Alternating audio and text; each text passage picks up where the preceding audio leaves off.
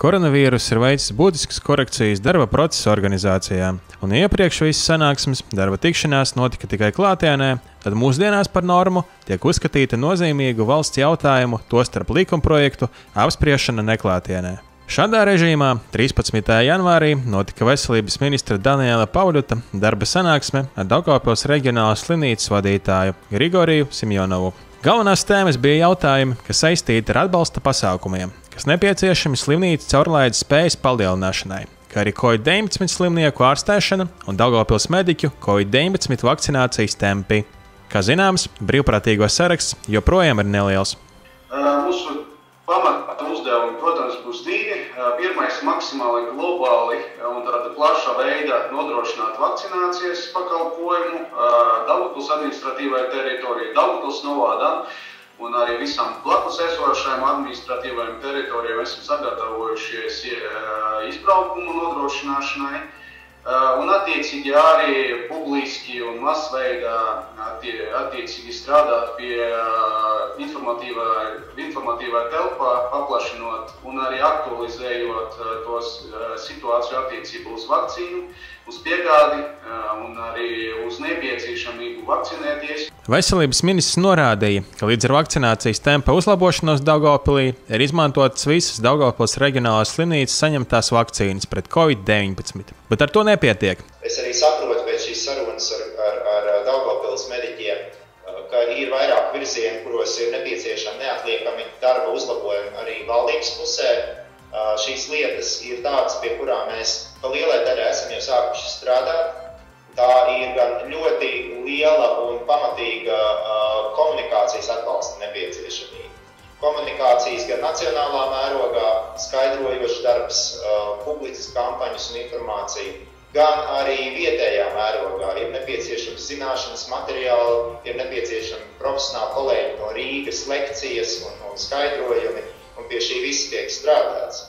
Tāpat, protams, ir, ir jāstrādā arī arī pie šī personiskā piemēra rādīšanas. Un, un tas, man liekas, patiešām svarīgi. Mums ir jāatrod veids, kas ir gan sabiedrībai pieņemams, veids, kā mēs varam vakcinēt publiski redzamas, neapšaubām autoritāti baudošas personas gan, gan, gan valstī kopumā, bet arī, arī reģionā kuras ar savu personisko piemēru var palīdzēt cilvēkiem pārliecināties par vakcīnu drošumu. Tikšanās noslēgumā veselības ministrs norādīja, ka pat labam tiek gatavota informatīvā kampaņa par covid-19 un vakcīnām pret šo vīrusu, lai mērķis būtu maksimāli panākts Latvijas iedzīvotājiem un jo īpaši Latvijas iedzīvotājiem visa informācija būs pieejama gan latviešu, gan krievu valodā.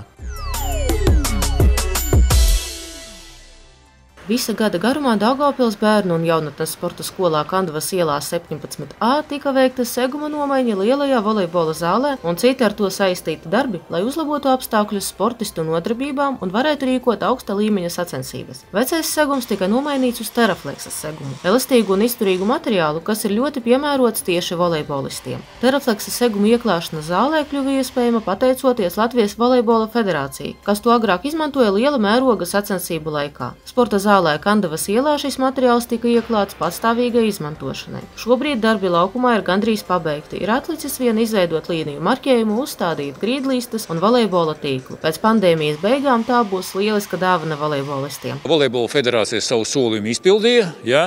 Viņi nodeva mums dāvinājumā principā, šo klājumu, ja? un mēs Nu, veicam tagad dotajā brīdī klāšanas darbi, kuri gandrīz jau pabeigti. Jā, nelielas apmales palikušas, vēl tur tīkla uzstādīšana un visi, visi nepieciešamā inventārs, kas saistīts ar volejbolu.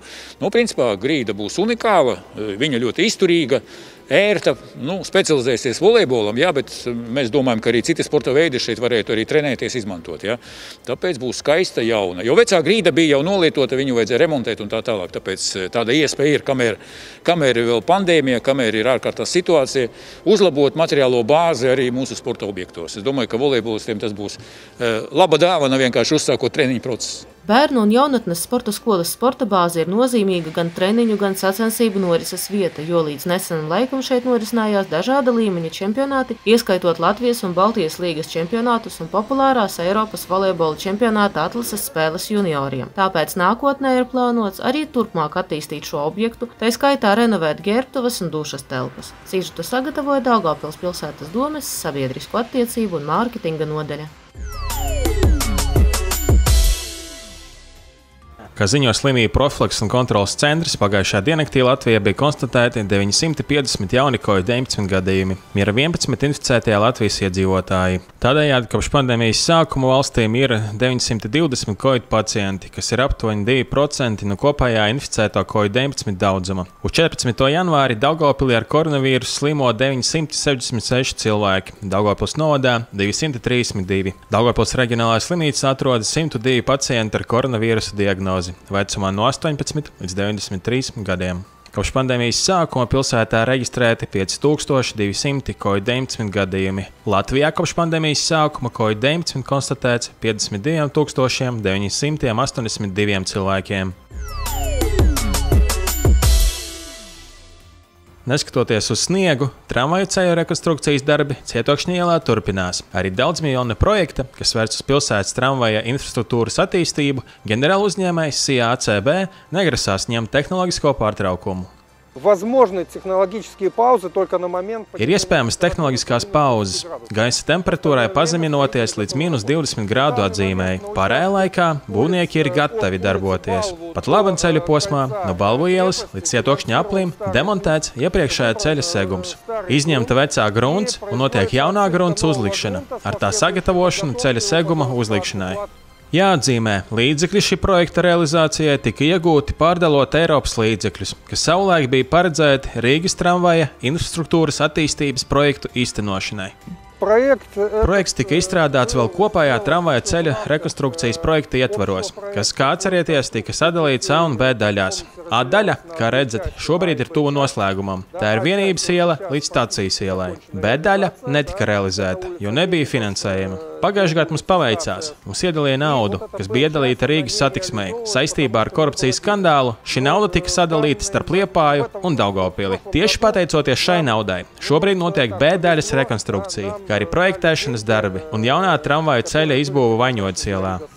Kopumā runa ir par finansējumu 10 miljonu eiro apmērā. Runājot par trešā tramvaja kustību, precīzi pateikt, kad pa šo tramvaju zaru atsāksies tramvaju kustība, šodien nav iespējams. Tagad šī ceļa posms tiks rekonstruēts tikai līdz pusēji. Es domāju, ka visgrūtākie darbi būs cietokšņa ielā, no parādas ielai līdz sporta ielai. Tas būs grūtākais ceļa posms, jo būs jādemontē un vēlāk jāuzliek ceļa segums. Tur ir nedaudz tiks mainīta tramvaja kustības līnija, kā arī pilsētas centrā vienmēr ir grūtāk nekā strādāt atklātā teritorijā. Atgādinām, izņemot Daugopils satiksmes projektu, šajā cietokšņa ielas posmā tuvāko mēnešu laikā tiks realizēts vēl viens projekts, kas vērsts uz ceļa infrastruktūras attīstību un uzlabošanu. Tā pasūtītājs ir pilsētas domas komunālā saimniecības pārvalde, un šī projekta ietvaros cietokšņa, palvu un vienības ielu krustojumā tiks organizēta rinkveida kustība, kā arī šajā ceļa posmā tiks rekonstruēts ceļa segums. Saskaņā ar sinoptiķu prognozēm, tuvākajā laikā Latvijā var iestāties bargs sals, kas noteikti ietekmēs daudzu sociāli neaizsargātu iedzīvotāju ikdienu. Šobrīd Daugavpils nakts patversme katru dienu sniedz pakalpojumus cilvēkiem, kuriem ir nepieciešama naktsmītnes, siltums, pārtika, sanitārā un medicīniskā pamatāprūpe. Covid-19 apstākļos ir ieviesis stingrs nodalījums starp sociālās un nakts patversmes telpām un izolatora telpām tiem, kuriem tiek veikta koronavīrusa pārbaude un tiem, kuriem šis vīrus ir konstatēts. Šobrīd nakts patversmi izmanto aptuveni 10 cilvēki dienā. Līdz ar salu iestāšanos patversme strādā visu diennakti. Tie, kuri vēlas pārnakšņot, uz laiku tiek ievietoti izolatorā, lai pēc tam, kad saņemts Covid-19 rezultāts, tiktu izmitināti kopējās telpās. Savukārt, ja testa rezultāts ir pozitīvs, apsargājumā piektajā stāvā, kas speciāli ierīkots cilvēkiem ar vieglu koronavīrusa slimības gaitu. Ņemot vērā aktuālo situāciju un iespējamo salu, nakts patversme varēs izmitināt pa nakti vēl desmit bezpajumtniekus. Izņemot naktsmītni, cilvēki šeit šeit var saņemt brokastis un vakariņas, izmantot dušu, kā arī saņemt apģērbu un apavus. Arī zupas virtuve nav pārtraukusi darbu, apkalpojot visus tos, kuriem nepieciešamas siltas pusdienas. Šobrīd pusdienas līdzņemšanai tiek izsniegtas darba dienās no 2013. Darbu pilsētas ielās veids pašvaldības policija, kas gandrīz ikdienu saņem izsaukumus, kas saistīti ar bezpajumtniekiem. Kārtības sargi informē par iespējām atjaunot personas dokumentus, izmantot sociālās un nakts patversmes pakalpojumus, saņemt medicīnisko palīdzību. Policisti arī nogādā bezpajumtniekus uz Daugavpils reģionālās slimnīcas detoksikācijas palātu. Stipra sala laikā pašvaldības policija pievērš īpašu uzmanību tiem, kuri sava dzīvesveida dēļ var gūt apsaldējumus. Ja jūs pamanījāt bezpalīdzīgā stāvoklī esošu cilvēku, nekavējoties jāizsauc ātrā palīdzība vai pašvaldības policijas patruļa. Policija jāizsauc arī gadījumā, ja persona regulāri nakšņo kāpņu telpā vai citā tam neatbilstošā vietā. Sižuta sagatavoja Daugavpils pilsētas domes sabiedrisko attiecību un mārketinga nodaļa. No 11. janvāra Daugopils sociālais dienests atjauno dažādu veidu pabalsta izmaksas noteiktām pilsētnieku kategorijām klātienē. Tas ir sociālā dienesta centrālā biroja kasē, kas atrodas vienības ielā 8. Bet, lai saņemtu šo pabalstu skaidrs naudas veidā, vispirms jāpierakstās. Kases darba laiks vienības ielā 8 no pirmdienas līdz ceturtdienai no 8.30 līdz 12. Turklāt sociālā dienesta darbinieki apkalpos tikai tos klientus, kur izmanto aizsargmaskas, kas nosedz muti un degunu un ievēro obligāto distanci - 2 metri. Ja klienti neievēro šos drošības pasākumus, sociālā dienesta speciālisti klientus neapkalpos.